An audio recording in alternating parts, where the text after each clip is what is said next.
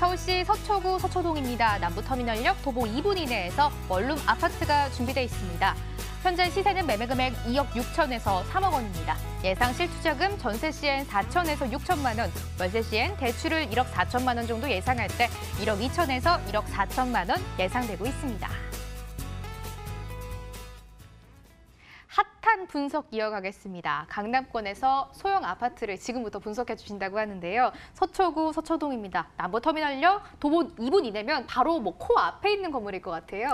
네, 서초동은 서울 내에서도 고급 주거 환경, 뭐 교통, 문화, 교육 환경까지 어, 잘 갖춰진 주거 만족도가 매우 높은 살고 싶은 지역 1순위입니다. 어, 강남역에 있는 강남대로와 테헤란로에는 뭐 대기업과 외국 회사를 포함해서 우리나라에서 가장 많은 직장이 있고요. 또 양재 R&D 연구단지와도 가까운 위치이고요. 또 도보권으로는 서초 법조타운이 있습니다. 어, 이렇게 양질의 일자리가 몰려 있고 이에 따른 직장인들의 수요가 넘치는 정말 안정적인 임대 수요가 있는 곳입니다. 뭐 그중에서도 3호선 남부터미널의 역세권입니다. 지하철역이 도보권의 초역세권이니 정말 직장인들의 선호도가 매우 높은 입지가 되겠습니다. 어, 그동안 서초동은 강남권의 이 핵심 입지임에도 불구하고 내방역에서 서초역 사이에 군사시설인 정보사로 인해서 단절이 있었습니다.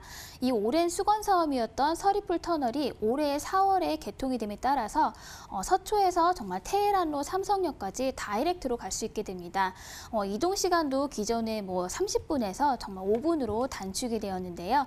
이에 따라서 강남대로와 테헤란로에 밀집이 되어 있던 뭐 금융 정보기술 서비스 산업벨트가 서초대로를 따라서 확장이 될 것으로 유동 인구가 늘고 지역 경제가 활성화됨에 따라서 제2의 강남 중시권이 될 것으로 기대가 되고 있습니다. 어, 이렇게 서리풀 터널이 개통됨에 따라서 서초구의 대형 호재들도 그 개발 속도가 빨라지고 있는데요. 아직은 시작점이 지금이 투자하실 수 있는 가장 저평가된 시기라고 볼 수 있겠습니다. 어, 팀장님 말씀을 들어보니까 서초동이 괜히 살고 싶은 지역 1위로 랭크가 된 게 아닌 것 같습니다. 정말 뭐 우수한 지역인 거 확인을 해봤고요. 이제 호재를 확인해봐야 될 것 같습니다. 어떤 호재 기다리고 있을까요? 네, 먼저 정말 엎어지면 코다할 만큼 가까운 남부터미널 현대화 사업이 있습니다. 어, 남부터미널은 지금 노후화가 심하기 때문에 기존의 터미널 기능의 수행에 어려움도 있고요.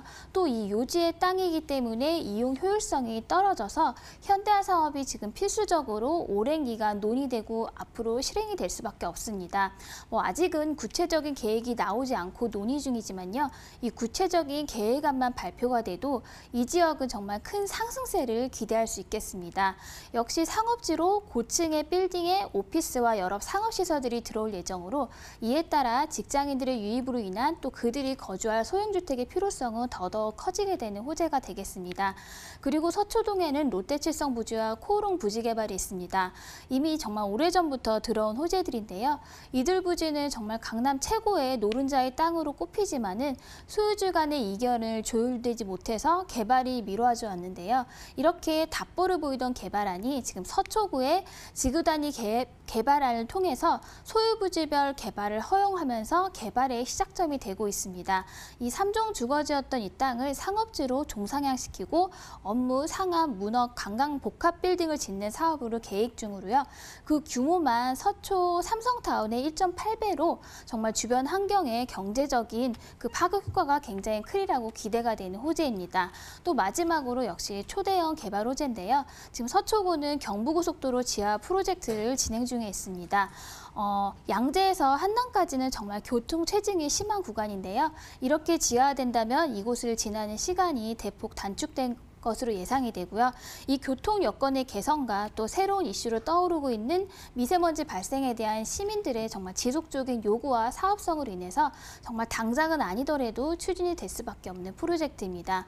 이렇게 교통 환경이 개선이 되고 또 도로의 지상 부분이 공원화돼서 주거 환경도 개선되고 나아가서 정말 경제적인 효과까지 기대되는 호재라고 하겠습니다.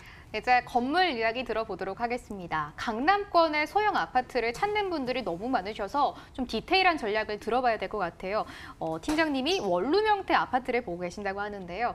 어떤 방법으로 찾으신 거예요? 네, 이 강남대로와 테헤란로, 또 양재 R&D 연구센터, 서초 법조타운 등 정말 양질의 일자리가 밀집되어 있는 고급 임대 수요가 넘치는 서초동입니다.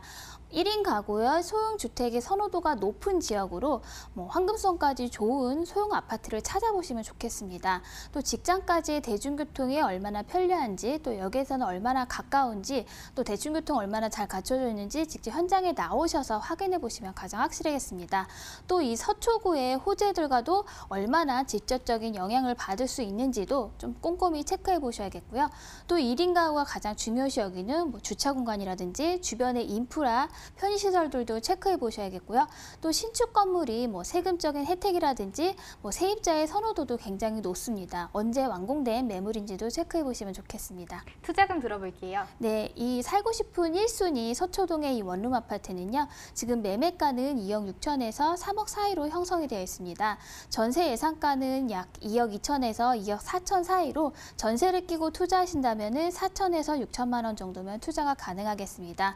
또 월세 시에는 보증금 1천만 원에 월 80만 원으로 대출을 활용하셔서 투자하신다면은 1억 2천만 원 정도면은 이 서초구 아파트에 투자가 가능하겠습니다.